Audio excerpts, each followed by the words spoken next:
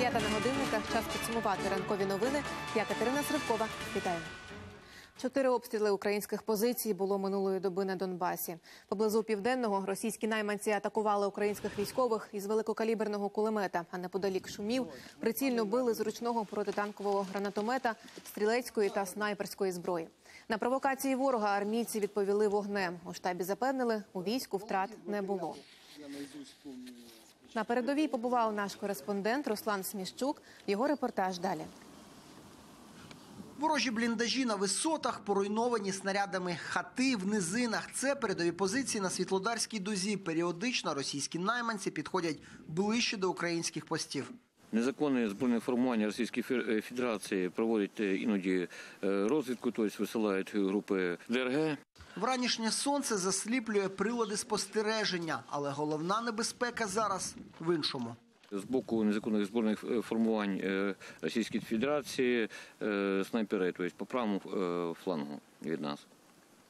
Так, на минулому тижні е, було два військовослужбовця вбито. Періодично то тут, то там можна побачити ось такі сліди від потрапляння кулі з посилених набоїв.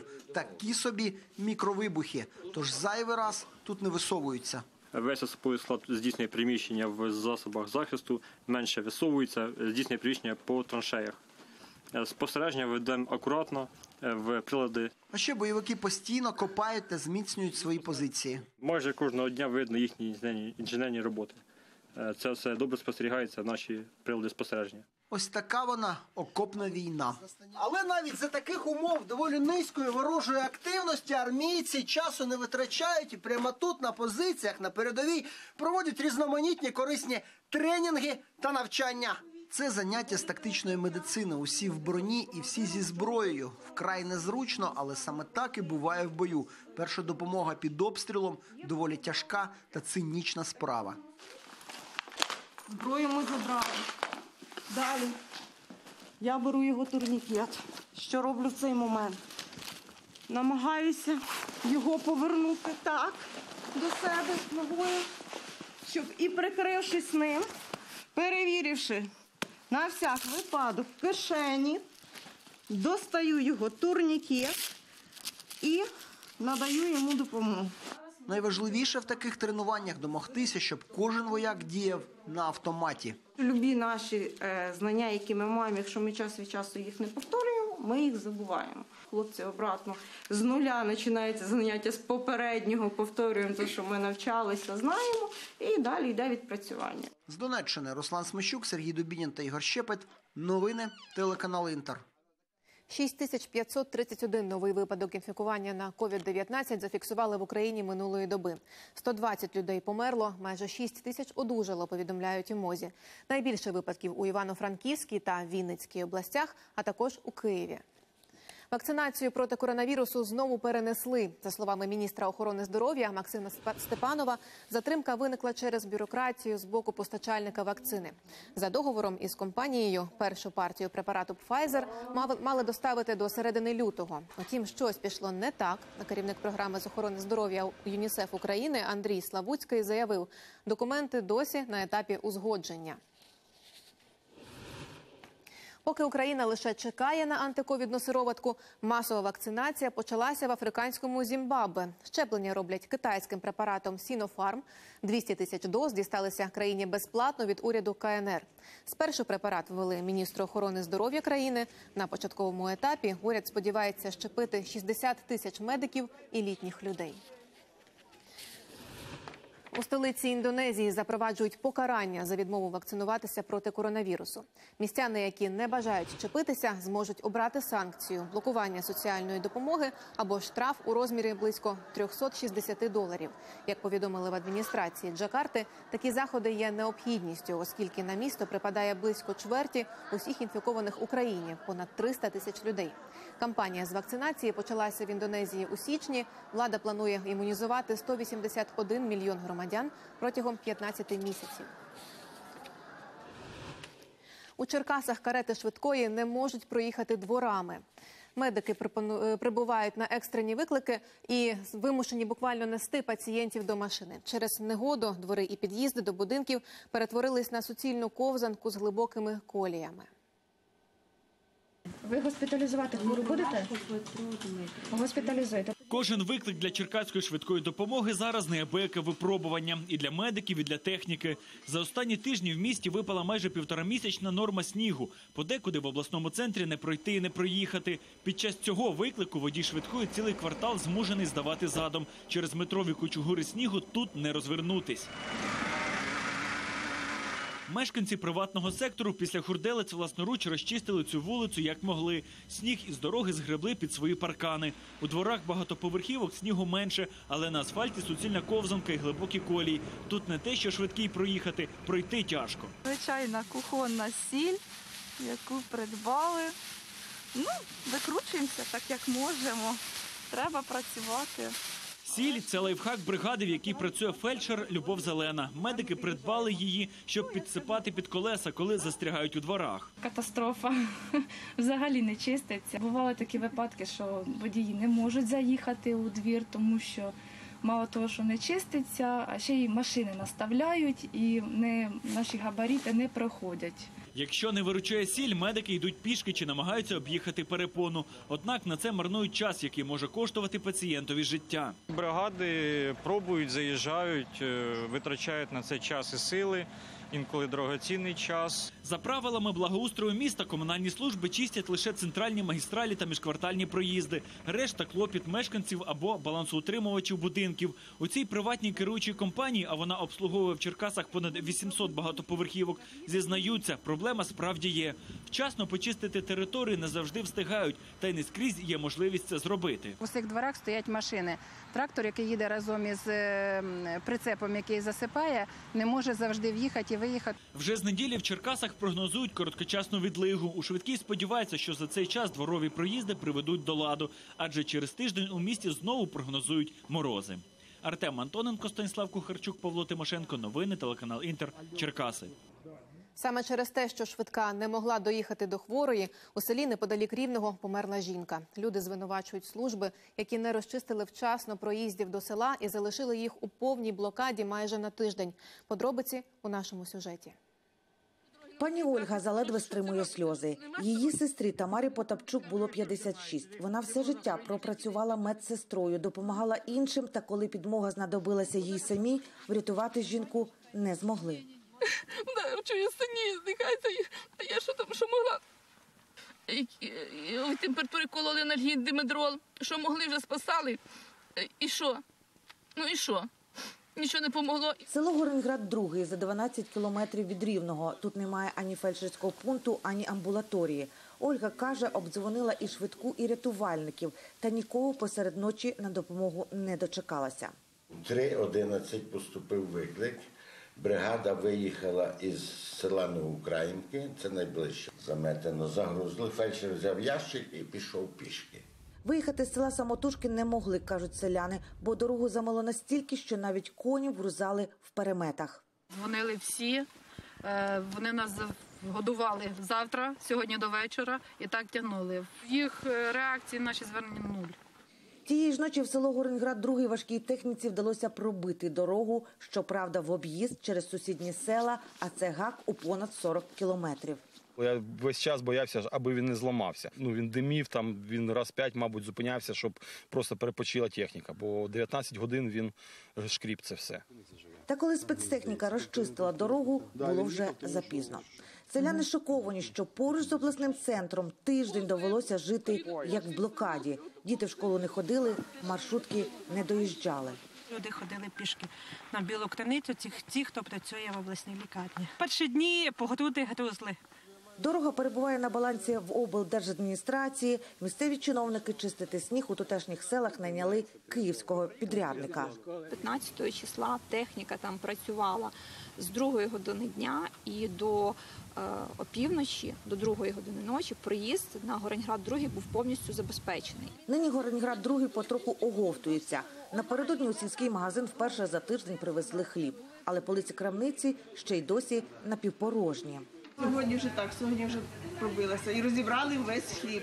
За півгодини розібрали весь хліб. Одразу після того, як знімальна група поїхала з села, туди приїхала важка техніка.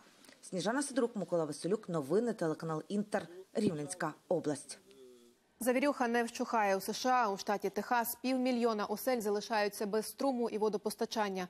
Людям наказали кип'ятити воду перед вживанням, адже через перебої з електрикою її не можуть очистити. Арктичний циклон дістався із східного узбережжя, хурделило у Нью-Йорку. Тамтешні аеропорти скасували сотні рейсів. У штатах Нью-Йорк і Нью-Джерсі через негоду зачинили кілька центрів вакцинації. Найвища у світі карусель запрацювала в Арабських Еміратах. Її висота понад 140 метрів. Це майже на 3 метри вище за карусель в американському Орландо. На виготовлення та встановлення обладнання витратили 421 тонну сталі. Працювали два роки. Відвідувачі парку розваг кажуть, на горі дух перехоплює не лише від страху, а й від краєвидів довкола. Так цікаво. Ти бачиш усе місто як на долоні. Це дуже освіжує думки і насправді здорово. Тож рекомендую. Екстремальне сходження на крижану вершину влаштували скелелази у чеському селищі Вір. 40-метрову скелю облили водою і дочекалися, поки поверхня замерзла. Так хотіли випробувати себе у незвичних умовах. Піднятися на крижану гору пропонують і досвідченим альпіністам, і новачкам у супроводі тренера. Чернігівські волонтери узялися рятувати мозаїки на будівлях міста. Історичні пано авторства відомих митців поступово руйнуються з плином часу та переважно через самих же людей. Як рятують цінні керамічні візерунки, Анастасія Старовоїд бачила. У цих згортках 120 елементів керамічного панно давній Чернігів художниці Галини Севрук, створене у 80-х роках минулого століття, врятоване нещодавно зі стін колишнього готелю у Чернігові. Нові власники погодилися віддати кількатонну мозаїку волонтерам. Перед нами якраз одна з таких е, найбільш впізнаваних істот це образ Семаргла, який е, тут розкладений на декілька частин. Це кераміка збірна, і в такій техніці е, майже ніхто не працював. Рятувати мозаїчні панно Чернігова волонтери почали три роки тому, коли з місцевого пологового будинку через термомодернізацію зняли мозаїку заслуженого художника України Євгена Павлова. Таких робіт по місту волонтери нарахували зо три десятки. Та є ще закриті мозаїки і ті, які вже не вписуються у сучасну архітектуру. Окрім того, що це перша мозаїка, який наданий статус, е, вона ще, скажімо, найперша, яка стала видимою. До цього взагалі питання збереження монументального мистецтва не стояло. Ну тобто. е, Було два варіанти розвитку подій: або вони починають е, продовжують щезати, або якось цей процес зупиняється. Ця труба це як нагадування про те, що її ніхто і не враховував. Врятовані роботи волонтери передають на зберігання до обласного музею, аби спільно реставрувати та в подальшому створити повноцінну експозицію. Вони віднаходять, вони досліджують, вони описують. Е, Це не просто люди, які далекі від мистецтва, це мистецтвознавці, художники, фотографи, які займаються професійно цим.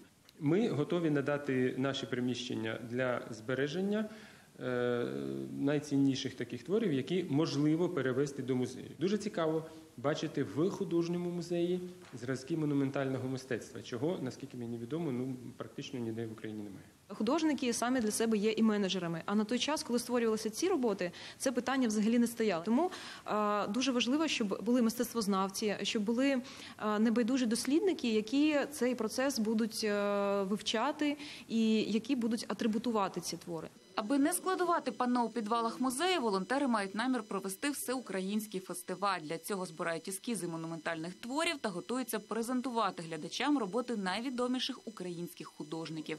Анастасія Старовойт, Максим Чеблін. Новини телеканал Інтер. А у Франції рятують багети. Країна подала заявку до ЮНЕСКО, аби традиційну випічку внесли до переліку світової нематеріальної спадщини. Адже пекарні не витримують конкуренції великих супермаркетів.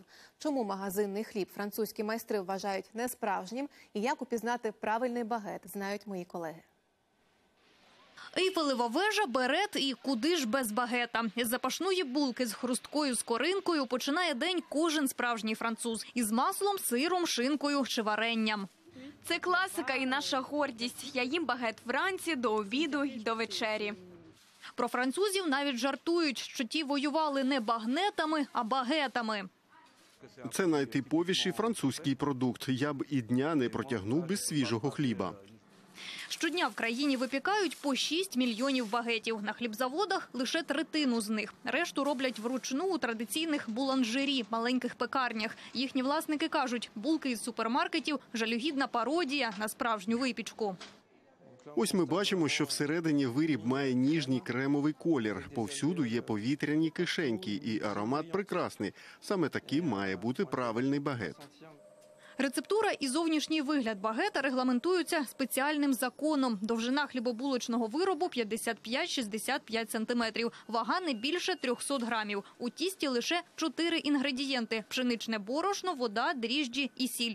Щодо технології, у кожного майстра є свої таємниці. Головне, аби хліб вийшов повітряний, м'який усередині і золотава скоринка зовні. Щоб вона була хрусткою, сохнуть багети стоячи. Якщо натискаєте на скоринку, а вона випрямляється, значить виготовлено за всіма правилами. От тільки нині традиції опинилися під загрозою, зокрема через конкуренцію з боку промислових виробників. Традиційні багети, ті, що їх випекають з якісних продуктів, незабаром можуть зникнути. За останні півсторіччя зачинилися 30 тисяч пекарень. А це цілий культурний пласт. Звичай варте плекати і оберігати, адже простого хліба завжди вдосталь, а от дійсно смачного замало. Тож французькі пекарі вирішили отримати відзнаку ЮНЕСКО. Подали в організацію заявку, аби багетне мистецтво внесли до переліку світової культурної спадщини. Щоранку 33 тисячі пекарів по всій країні готують традиційний французький хліб. Визнання на світовому рівні буде для них великою честю і втіхою, зважаючи на труднощі під час пандемії. Знак якості ЮНЕСКО вже отримали неаполітанська піца і бельгійське пиво. Стати в один ряд із цими стравами прагне й український борщ. Заявку в ЮНЕСКО Київ має подати у березні. Анна Філь, новини, телеканал Інтер. Австралійка замінила маму осиротілим кенгурятам. Жителька нового південного Вельсу Крісті нині виховує чотирьох малюків. Завдяки турботі жінки на новому місці тваринки влаштувалися непогано. Завзято п'ють молочну суміш із пляшечок, а материнську сумку їм замінює полотняна торбинка. Орієнтовно за рік господиня випустить їх у дику природу. Кенгуру Крісті рятує вже понад 10 років. Марсохід НАСА успішно сів на червону планету. Ровер Персеверенс, що в перекладі означає наполегливість, уже зробив свої перші фото. Посадка тривала близько семи хвилин у повністю автоматичному режимі. Апарат оснащений спеціальним лазером для сканування органічних сполук, камерами та мікрофонами. Очікують, що марсохід також буде збирати зразки ґрунту. І на цьому ми завершуємо. Подивіться наступний випуск новин опівдні. Дякую вам за увагу. Гарних вихідних і будьте здорові.